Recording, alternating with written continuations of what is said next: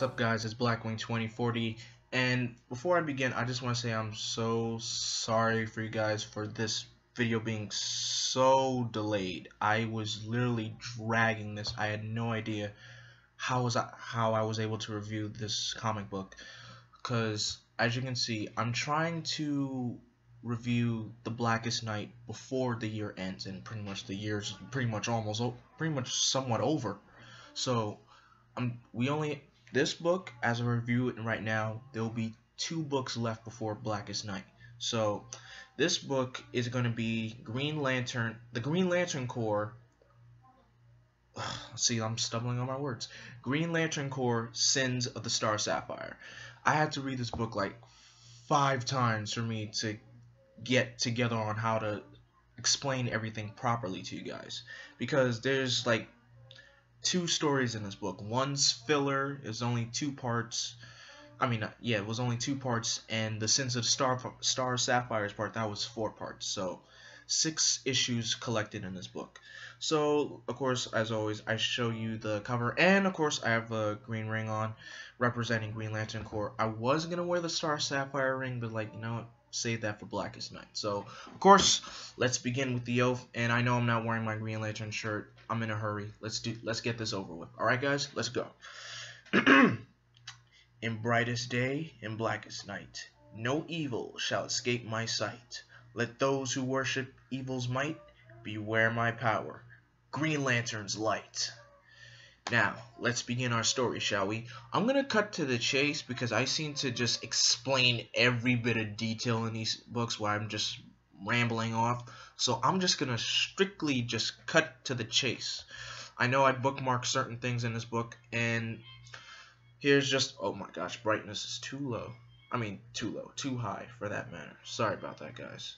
Let me turn that down a bit. Alright, here we go. Oh my gosh, it's too bright. Why is... Uh, okay.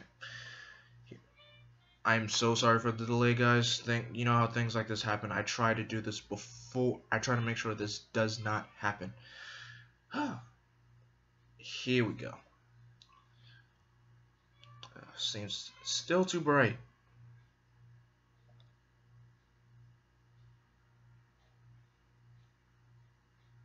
Okay, that seems too dark. Alright, this should do it. Here you guys are. This is the cover to Sins of the Star Sapphire. And let's begin, shall we? So, currently, Guy Gardner and Kyle Rayner are living, currently living on Oa since they decided to leave their home on Earth.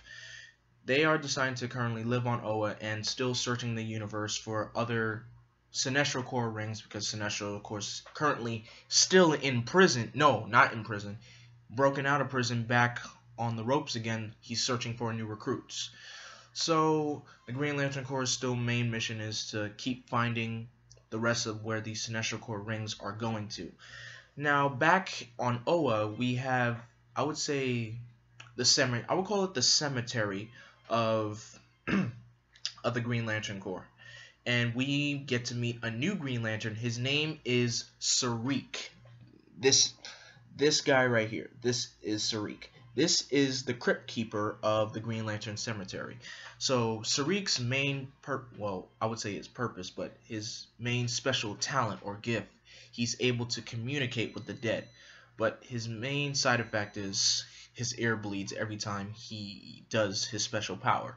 So while that's going on, Mongul actually breaks free from his prison within the Black Mercy because, of course, that was the last time the Green Lanterns had a run-in with Mongul. So as you can see, he escapes from the Black Mercy because, of course, you know, nothing can hold Mongul. Mongul's a complete beast.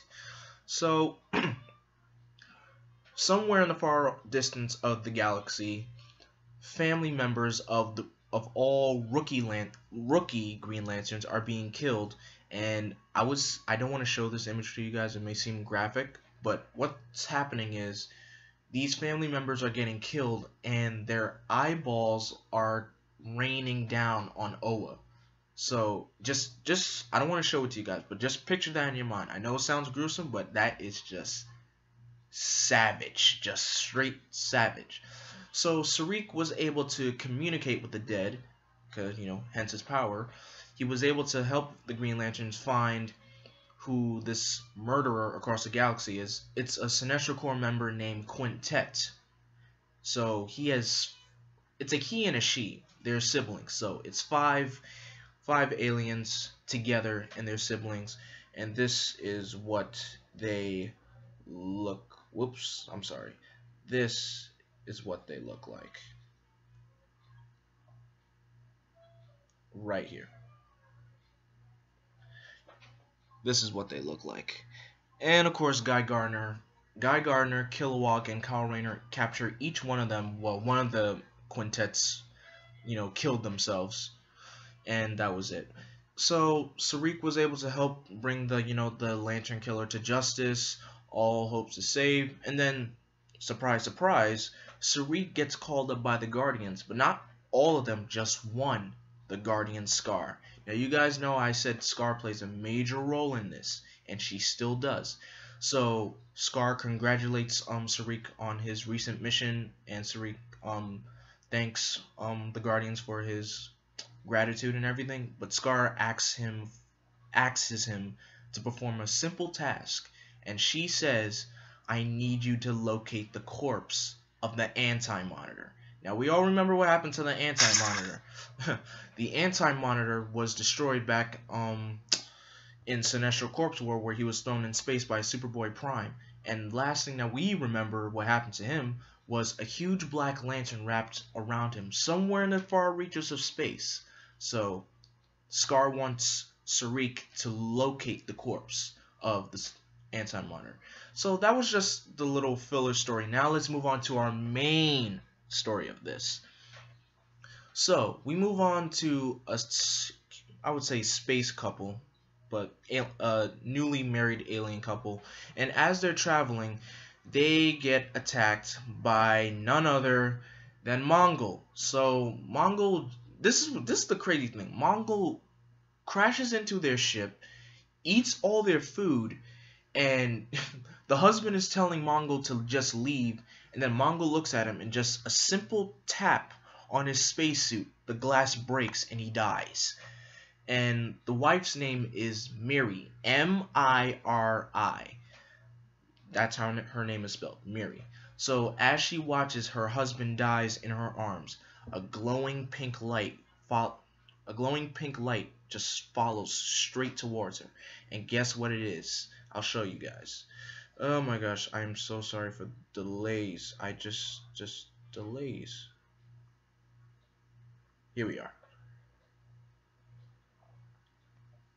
Okay, so like I said, a pink light um goes towards um Miri.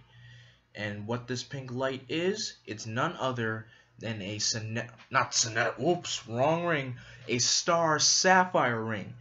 And what this ring does, it says, Mary, you have great love in your in your heart, and she becomes a star sapphire or violet lantern for other people to know. So now she has the power of love in the ring, and she was able to connect with. She can still feel the love for her husband even in death. So while she, as soon as she gets the ring, she travels to Oa. Now back on Oa, the Guardians call for Guy Gardner, Sodam Yat, and Arisia to go on a diplomatic mission to Zamaron, which is home of the Star Sapphires. So they travel there, and let me show you guys what um what um what's the name Zamaron. Let me show you let me show you guys what um Zamaron looks like. It's a beautiful looking planet, by the way, if I may add. Right here. And of course they have their own central power battery. And just a fun fact for you guys, the Zamarons were kind of they worked with the Guardians before until they broke off with the Guardians because you guys know the Guardians are stupid, emotionless little freaks of nature. They are so heartless. So they travel to Zamaron. They meet with the Queen, Queen Agapo, and of course this whole argument starts to happen on how the Zamarons are abusing their power of love how they shouldn't be using their power, and then Queen Agapo, of course, disputes with them, saying, How dare you come to our planet and judge us on how we're using our power while you guys aren't doing nothing but of course, Queen Agapo reminiscence of their incidents with the Manhunters and now with the Alpha Lanterns. And of course, you know, the Guardians are heartless. They don't care what happens to what they're saying. And then while they're stumbling on Zamaron, they find a couple of Sinestro Corps members wrapped around in Starheart gems. And Guy Gardner asks, what the heck are they doing? They're pretty much reforming some of the Sinestro Corps members and making them she okay, what they're doing is transforming those Sinestro Corps members into Star Sapphires. And Guy Gardner doesn't approve of this. The Guardians definitely don't approve of this. And then they ignore this and then they just leave. And Queen Agapo just stares at them while they just leave. And so when they return to Oa, the Guardians decide to create another new law in in the Book of Oa. So the new law was well, some of the new laws were so lethal force could be used on a um Sinestro Corps member. Um, so le lethal force could be used on any enemy of the Green Lantern Corps. And now their next new law is there will be no relationships with anyone within the Green Lanterns, the Green Lantern Corps. So any Green Lantern Corps member that's you know in a relationship or anything, it's no longer allowed. New law.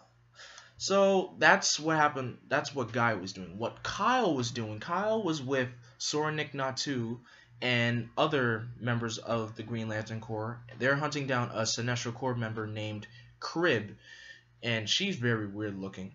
I tell you. Alright, let me show you what Kryb looks like, by the way. Give me just one second. I feel like I should have had this up a long time ago. Alrighty, here we yeah, this should be it. Nope, nope, that's not it. Okay, but pretty much what Kryb is, ah, here we are. This is Kryb. Creepy looking, am I right? Okay, so what Kryb, what she does, she kidnaps babies of fir firstborn children of um Green Lantern Corps members. So she kills their parents and then she kidnaps the kids and she has this like little cage thing around herself. So, and that's where she puts all the kids. And she's, I'm like, this woman is just crazy. She kidnaps these kids and she just carries a whole bunch of them, a whole bunch of them, orphan children around, and just by slaying their parents. So, Kyle, Soranik, and other members of the Green Lantern Corps. There's a married Green Lantern Corps couple, couple with them. One of the members was pregnant, so they're expected to have child, a child. So the Green Lantern Corps members fight um Kryb. They get possessed by her because she she spat out a certain protoplasm that caused them to be mind controlled by her. But of course, you know, the Green Lantern Corps can't break that easily. Kyle breaks free of that mind control, takes her down, and then the wife of the married couple is starting to give birth to her child. So Soranik Natu helps the husband deliver the baby while Kyle is fighting the Sinestro Corps member Kryb. And as that happens, the baby is born. Kryb is subdued with the help of Mary, by the way. Mary shows up to help help out defeat Kryb and also support the love of the married couple, the married Green Lantern Corps couple, due to their love for the baby being born.